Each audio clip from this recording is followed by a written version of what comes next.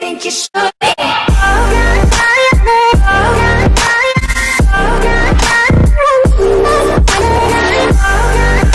Hola amigos de YouTube, antes de comenzar quiero recordarte que tenemos un sorteo con motivo de especial a los 900 suscriptores. En el sorteo te vamos a dar 100 GB para OneDrive gratis por dos años, así que por favor recuerda, el link está en la descripción del video para que participes y seas uno de los afortunados en ganarte 100 GB para tu OneDrive. Ahora sí, vamos con el video. Hola amigos de YouTube, ¿cómo están? Bienvenidos a este nuevo video en el cual les voy a enseñar las novedades de lo que es Windows 10 Creator Update. Como saben, como su nombre quiere indicar en español, significa que es la actualización para creadores de Windows 10, la cual incluye unas cuantas novedades que se las voy a mostrar a continuación y también cómo poder obtener la actualización si esta no te ha llegado mediante Windows Update. Pues bien, primero vamos a comenzar con el menú inicio que recibe un lavado de cara. Como ven, el menú inicio antes tenía una lista con todos los programas de este lado. La podemos desactivar desde el menú inicio. Cabe mencionar que también voy a hacer una serie sobre el apartado configuración de Windows 10, ya que a partir de esta versión cuando damos un clic derecho aquí, ya no aparece lo que es el panel de control, sino configuración. Pero podemos invocarlo si vamos a la lupa y ponemos panel de control. Aún sigue saliendo pero es cuestión de tiempo para que Microsoft termine de eliminarlo de una vez por todas. Así que, mientras eso va ocurriendo, iremos haciendo la serie sobre configuración para ir viendo algunos apartados que se pueden ir ajustando desde ahí, ya que la mayoría están ahí. Como ven, tenemos el menú inicio así, que no tenemos esa lista, lo que hace que se economice el espacio en la pantalla. También tenemos los que son, lo que es las carpetas, perdón, de aplicaciones como tenemos en, el, en, la pantalla de inicio de Windows 10 Mobile, pero en este caso a estas carpetas no le podemos poner nombre. Tal vez para Rexton 3, que estoy actualizando mi máquina virtual, que la tengo por ahí, no sé si quieren que haga un video sobre qué más o menos trae esa build, aunque son pocas cosas, realmente no hay muchos cambios. Como ven, aquí tenemos la carpeta y la forma sencilla de tener estas carpetas es igual que en, que en Mobile, simplemente hay que colocarlo encima del icono, hay que colocar la... Nada hay que colocar el icono encima de, la encima de otro y ahí tendríamos la carpeta. Como ven, aquí tenemos la lista de todos los programas, un poco más reducida. No sé si hay un ajuste para poner que cuando presione el menú inicio nada más abra esta lista. Creo que no y Microsoft debería de ponerlo. Otra novedad es en el apartado de configuración, que como ven ahora tenemos dos nuevos apartados el cual es el de aplicaciones y el de juegos. Aquí en aplicaciones podemos gestionar lo que es la desinstalación de nuestras aplicaciones, también los programas, las aplicaciones predeterminadas. Vamos a ver si no se me traba el menú ya que está cargando. Aquí también tenemos lo que es las aplicaciones predeterminadas para todos nuestros programas, ya sea el correo electrónico, los mapas, la música, las fotos, películas y nuestro explorador web. Y aquí como voy a volver porque no había cargado, es que tengo muchas aplicaciones también. Aquí podemos desinstalar las aplicaciones aunque también podemos ir al viejo apartado desde aquí, al viejo apartado del panel de control para desinstalar las aplicaciones. También tenemos aplicaciones para sitios web, ya eso es aplicaciones que habrán determinado sitio web. Entonces, otra de las novedades que incluye esta versión también es Microsoft Edge, también recibió un lavado de cara. Como ven, tenemos esto aquí que son las pestañas reservadas. Digamos que tenemos muchas pestañas y se nos hace un poco difícil lo que es la navegación entre ellas. Entonces lo que hacemos es presionamos este botón y automáticamente se guardan todas las pestañas y cuando vamos aquí podemos restaurar una de esas pestañas. Ideal para aquellos que andan un poco apurado y tienen demasiadas pestañas y necesitan solamente trabajar con una. También aquí como ven el botón de compartir ha cambiado. Cuando le damos ahora nos presentará un menú así. Como ven, no el que había en 8.1 en Windows 8 que era de este lado de la pantalla. Ahora tenemos este menú así, minimalista, un poco más sencillo.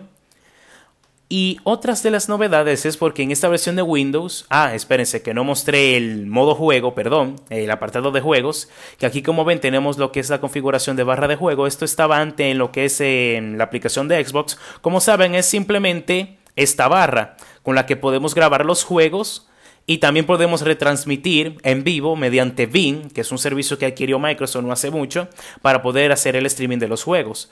También tenemos lo que es el Game DVR, que no me acuerdo bien para qué es esto. También tenemos la retransmisión, que ya lo había explicado, que es para retransmitir. También aquí tenemos lo que es el modo juego.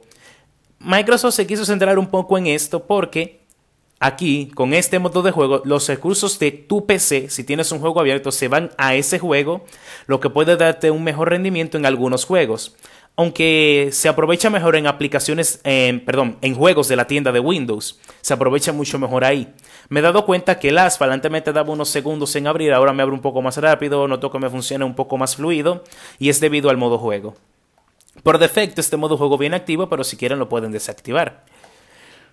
Entonces, otra de las novedades es que, bueno, como dije, esto se está incluyendo lo que es el mundo del 3D, para, por eso es para creadores, para el mundo del 3D, los diseñadores, ya que cada quien, bueno, más, hoy en día es más común tener una impresora 3D en la casa. Para eso Microsoft renovó su aplicación de Paint, renombrándola a sí mismo como Paint 3D, como pueden ver es esta, que podemos tener modelos 3D, podemos crear nuestros propios modelos, inclusive creo que podemos digitalizar, como ven aquí tenemos uno, también podemos cambiarle el color, virarlo, ampliar el tamaño, aunque también hay una comunidad para esto, ya que no soy muy bueno haciendo modelos 3D. También podemos poner stickers, donde están las caras. Quisiera ponerle los ojos. Deja ver. ok, entonces eh, seleccionar, espérense, voy a darle la vuelta a ver si le coloqué bien el ojo. Sí, como ven le podemos hasta dibujar la sonrisa y podemos ir creando unos modelos, también podemos ir cambiando el color y también las funciones típicas del Paint como es, por Dios, dibujar, porque para eso se usa el Paint. También creo que podemos seleccionar formas, tiene que estar por aquí, no, es, eh, no he escudriñado mucho lo que es esta aplicación, ya que cuando era más joven, o sea, cuando era un chico o era niño, solía usar Paint, me ponía a hacer casas, me ponía a dibujar playa, me ponía a dibujar palmeras, un poco chongas, no tan profesional, pero al menos me entretenía haciendo dibujos. Pero ahora esto estás mejor porque tenemos poder, podemos perdón, hacer nuestros modelos 3D e imprimirlos en nuestra impresora 3D o en donde sea que tenga una impresora 3D. Ah, porque ahora es más sencillo. También otra... ¿Cuál sería la otra novedad? Bueno, no la tengo instalada, pero tenemos las aplicaciones de lo que es la realidad mixta. Denme un segundo. Bien, ya volvimos. Lo que iba a decir era algo sobre Windows Mixed Reality, que eso es para combinar la realidad aumentada con la realidad virtual, haciendo así una realidad mixta que eso llegará pronto, yo creo que también lo van a implementar en Rexton 3, pero es algo de lo que ya tenemos que se puede implementar con las HoloLens o cualquier otro hardware que eh, obvio que es caro y no lo tengo, pero si lo tuviera haría un video de ello. Entonces también Windows Defender recibe un lavado de cara, como ven ahora es una aplicación universal y no la de escritorio que tenemos desde Windows 7. Como ven aquí podemos ver lo que es la protección antivirus, también el rendimiento de nuestro equipo, si está bien también lo que es el firewall, también lo que es el control de aplicaciones y el navegador. Como ven aquí tenemos el filtro Smart Screen activado en Microsoft Edge y también activado en lo que es la tienda de Windows en... Aquí no lo tengo activado por una sencilla razón que no quiero explicar, ya quizá alguno sepa. Y aquí tenemos lo que es las opciones de familia. Esto estaba en el panel de control viejo y decidí ponerlo aquí. Ahora aquí podemos configurar lo que es el control parental para restringir algunas cosas a una cuenta de niño. Y creo que esto sería todo de respecto a novedades. Ah, otra cosa, si quieren tener la actualización, lo podemos hacer mediante dos métodos.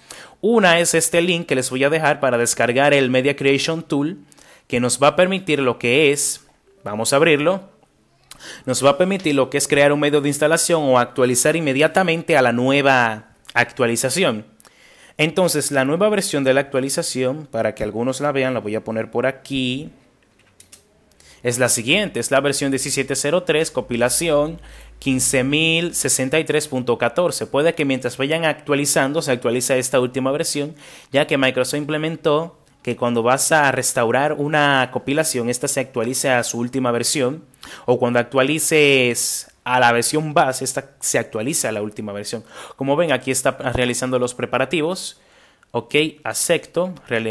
Sigue revisando porque tiene que chequear que todo esté bien.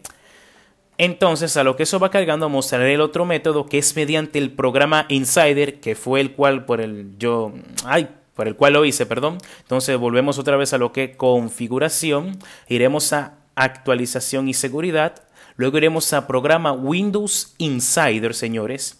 Ahora, aquí nos pedirá que le demos a comenzar, luego nos pedirá registrarnos en el programa Insider si no estamos registrados, luego nos abrirá el navegador, ponemos nuestro correo, nos registramos, aceptamos los términos, luego volvemos aquí y por favor, cuando vayan a elegir eh, la recepción del programa, siempre elijan Release Preview, ya que en anticipado y aplazado están lo que son las compilaciones de Rexton 3, que por ahora no hay muchos cambios, pero cuando comiencen a hacer los cambios puede ser muy inestables para su uso diario. Así que les recomiendo si lo van a hacer mediante el programa Insider, lo hagan por Release Preview o mayormente que lo hagan por aquí. Como ven, aquí me da la opción de actualizar ahora mismo, pero no lo haré porque ya lo tengo y también aquí me da la opción de lo que es crear un medio de instalación. Como ven, aquí puedo deseleccionar esto y aquí puedo seleccionar el idioma en, el cual quiero que esté la, la imagen ISO o el me bueno, la imagen hizo la memoria USB. Aquí también puedo elegir la edición de Windows 10. Lo dejaré así porque me da todas las ediciones de Windows 10. Ahora nos tocaría ver qué arquitectura es nuestro sistema, si es 32 o 64 bits, o si queremos podemos hacer la de las dos. Para chequear esto, ya saben que tenemos que dar un clic derecho aquí y darle a sistema, que ahora nos abre aquí, y veremos que el tipo de sistema es sistema operativo de 64 bits en mi caso, si en tu caso es de 32, o sea x86, creas el medio de instalación para tu arquitectura o si quieres puedes crearla para ambos, pero te digo que tendrás que usar un DVD, de, un DVD de doble capa, ya que la ISO llega a ocupar aproximadamente 6 GB si es de ambas arquitecturas. O si tienes una memoria de 8 GB, no hay problema, puedes tenerlo ahí, como es en mi caso, que tengo las dos instalaciones ahí para no tener que andar quemando un disco cada 2x3. Y bien, señores, si voy a salir, haz la limpieza que tienes que hacer. Pues bien señores, esto es todo por este video, espero que les haya gustado, viendo las novedades que tenemos en lo que es Windows 10 Creators Update. Para lo que es PC. Para móvil no hay muchas novedades, pero mayormente se centraron en lo que es mejorarlo internamente para que fuera más fluido, porque como saben Windows 10 Mobile no era tan fluido como ahora y que hay algo que no me gustó, que la mayoría de dispositivos se van a quedar sin actualizar. Y eso es tema para otro video. Pero si tienen alguna duda sobre eso de Windows 10 Mobile, me lo dejan en los comentarios y veré si los puedo responder o si hacemos un video sobre eso, porque realmente no sé qué está haciendo Microsoft en ese sector, lo quiere dejar morir o qué. Pero bueno, señores, y esto es todo por este video. Adiós.